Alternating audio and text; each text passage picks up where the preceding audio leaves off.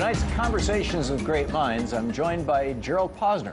Gerald Posner was one of the youngest attorneys ever hired by the Wall Street firm, uh, law firm Cravath, Swaine and Moore, and is the author of 11 books, including New York Times bestsellers and one a finalist for the Pulitzer in history. Gerald has written dozens of articles for national magazines and papers and has been a regular contributor to a variety of television networks. He's also the author of the new book, God's Bankers, a history of money and power at the Vatican. Gerald joins me now from our Miami studios. Gerald Posner, great to see you again. Thanks for joining Great us. to see you again, Thom. Thank you for having me. You keep cranking out these brilliant, massive books. Uh, let's start with you. What got you interested in the history of the Vatican and the Vatican Bank?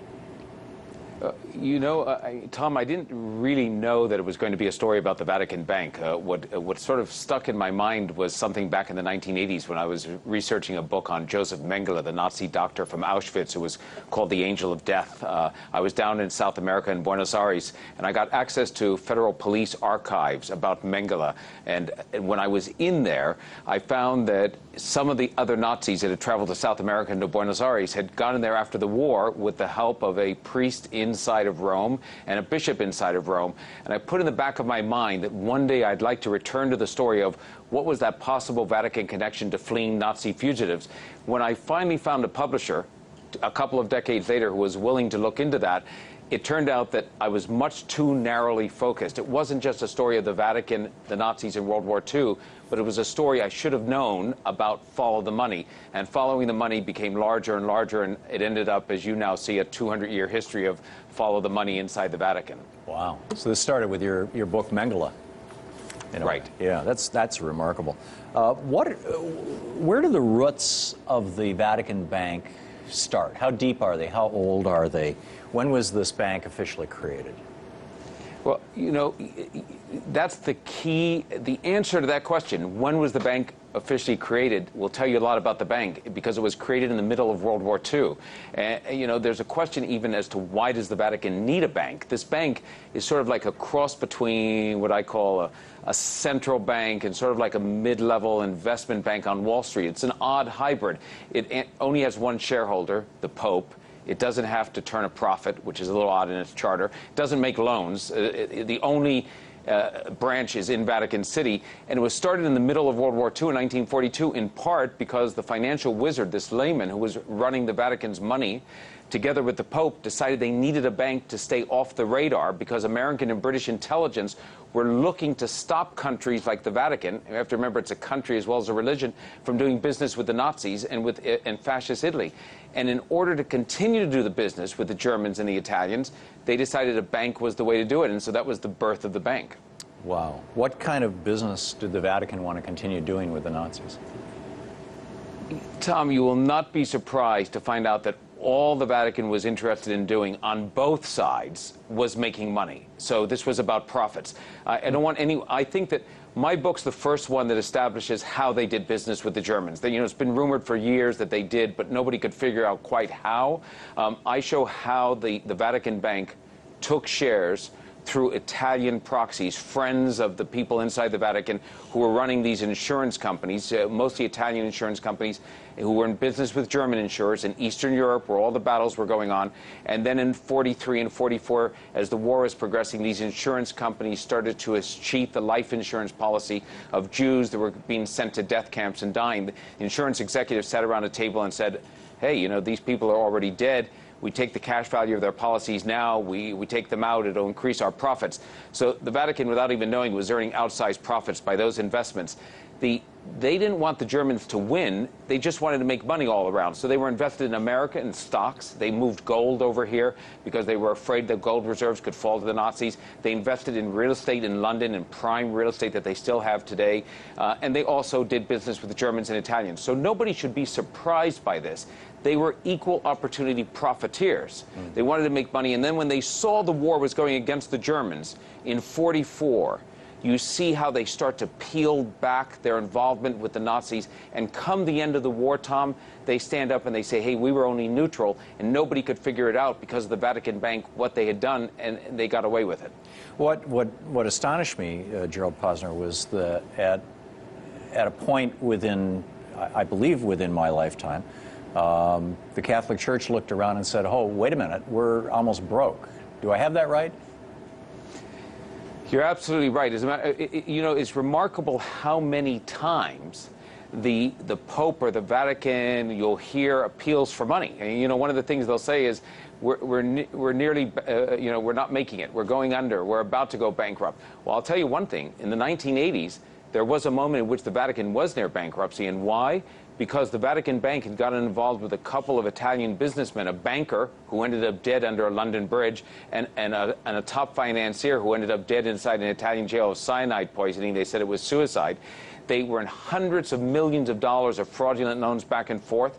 The Italians tried to indict the head of the Vatican Bank, who was an American archbishop, and his two top lay aides. The Vatican shielded them by putting them in Vatican City.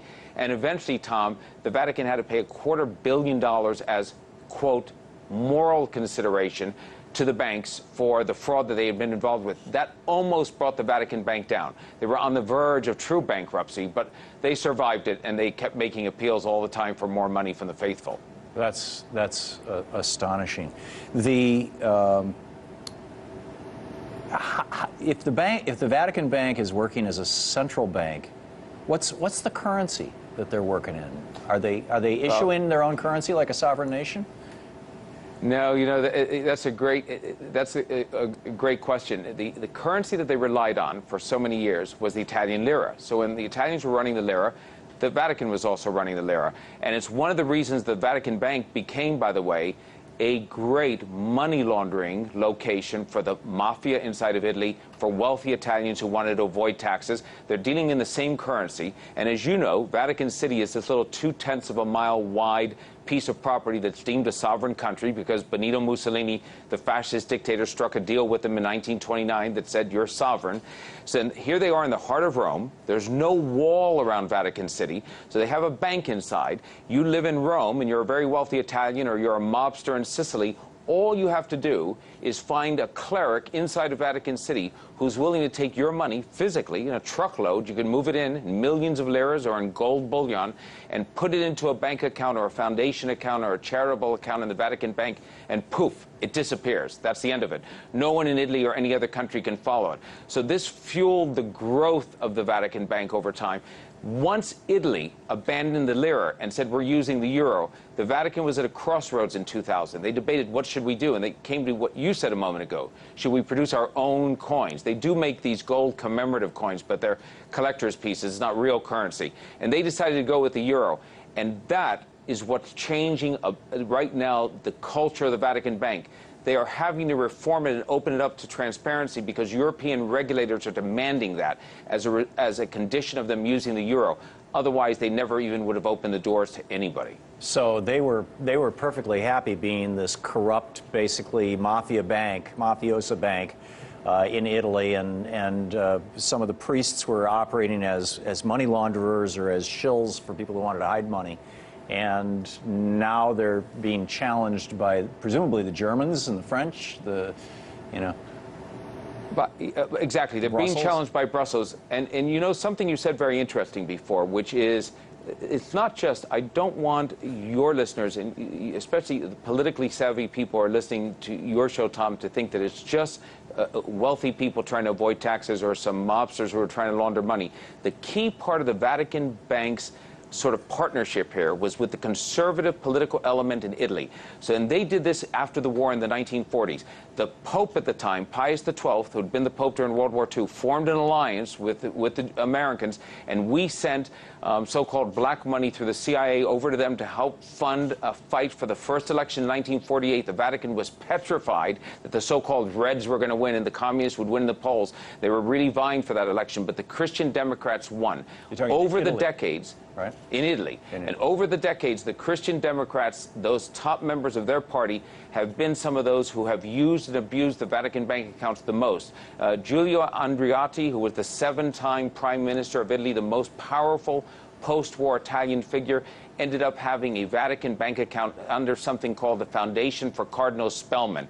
There was no such thing. It didn't exist outside of the Vatican Bank.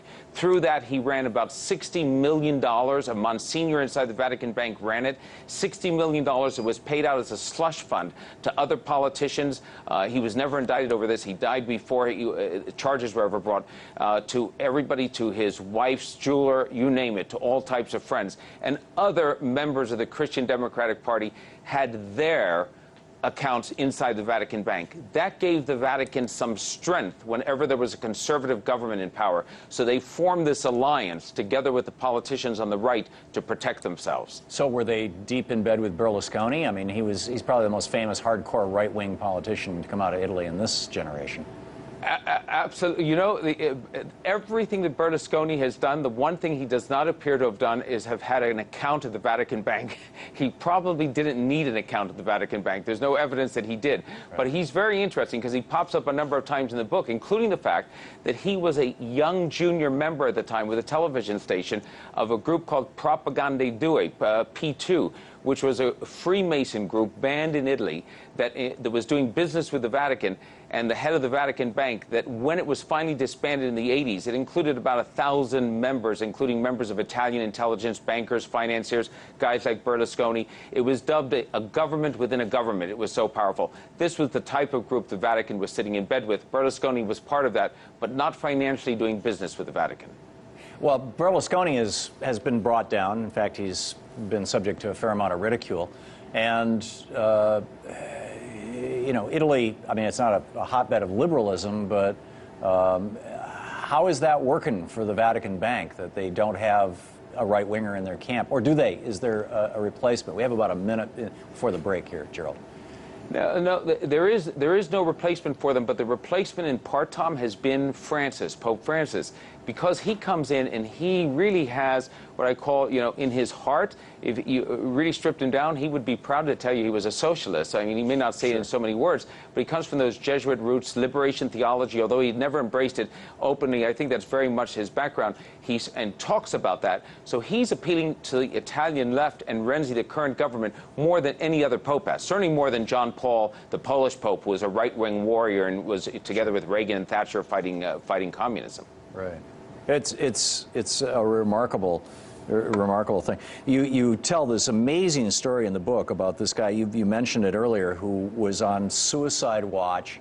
You know, one of the, the Vatican bank, he, they were making his food in the dispensary under observation. They were sealing it so it could only be opened in his jail cell.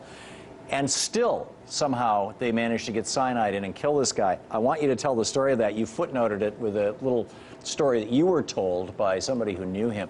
We'll get to that right after this. We're talking with Gerald Posner. God's Bankers is his new book, A History of Money and Power at the Vatican. Stick around.